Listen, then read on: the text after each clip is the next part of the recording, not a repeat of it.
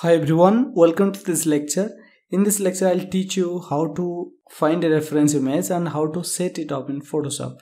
To find a reference image, just Google type 3D face reference image. So you'll get lots of um, reference image there. I found this one.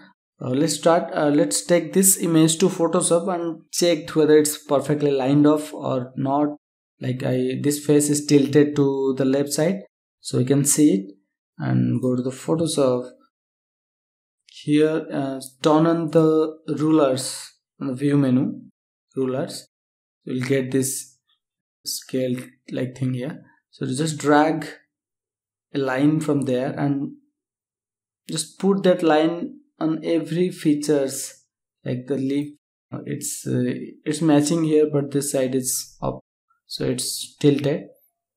So let's first rotate this to uh, take this rectangular marquee tool and drag this here.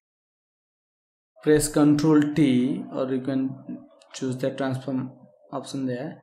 So just rotate it here so that the leaf is parallel to the line.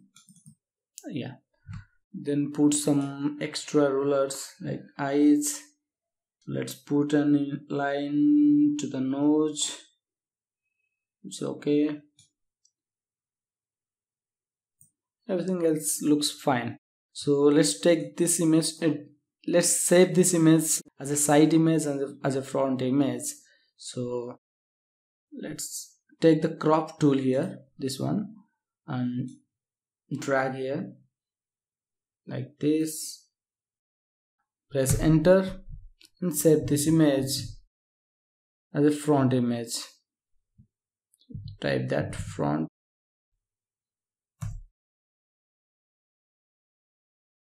Get some time to save. Yeah. Then again undo. Undo it and then again drag here to the side. Press enter. Save this image as a side image.